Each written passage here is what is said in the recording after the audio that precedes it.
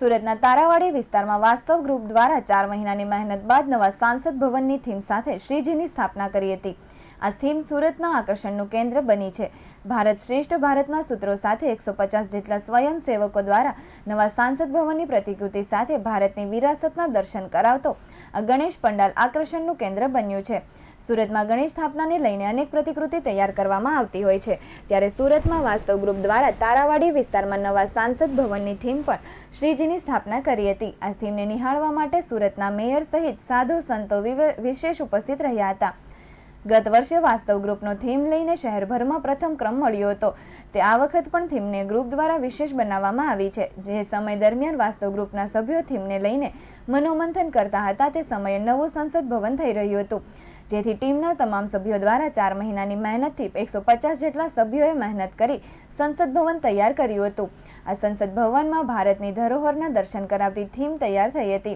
આ થીમમાં ભારતના ઇતિહાસની ઝાંખી તેમજ ભારતનું સંસદ ભવનની પ્રતિકૃતિ આબેહૂબ તૈયાર કરાઈ હતી, જેમાં આઝાદીના સમયના લડવૈયા તેમજ અખંડ ભારત અને અશોક સ્તંભનું આકર્ષણનું કેન્દ્ર બન્યું હતું.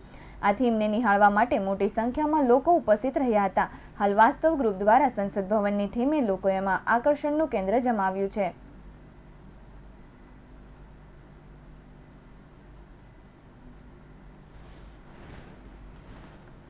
ભારત દેશ એ સૌથી મોટો લોકશાહી દેશ છે સમગ્ર વિશ્વમાં. અને સમગ્ર વિશ્વમાં સૌથી મોટો લોકશાહી એવું ભારત દેશનું મંદિર કહી શકાય એવું સંસદ ભવન જ્યારે આજે ઓગણીસ તારીખે પ્રથમ સત્ર એનું શરૂ થવા જઈ રહ્યું હતું અને આજે થઈ ગયું છે એનું ઓપનિંગ તો આજે સુરત ખાતે વાસ્તવભૂત દ્વારા એ જ સંસદ ભવન જે નવું બનવામાં આવ્યું છે તે જ આજે અમે ગણેશ ગણપતિ મંડાલમાં એનું ડેકોરેશન કરવામાં આવ્યું છે.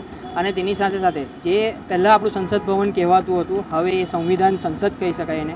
આજે જ પ્રધાનમંત્રી મોદી સાહેબે એના માટે આ એક નવું નામ આપ્યું છે, સંવિધાન સદન.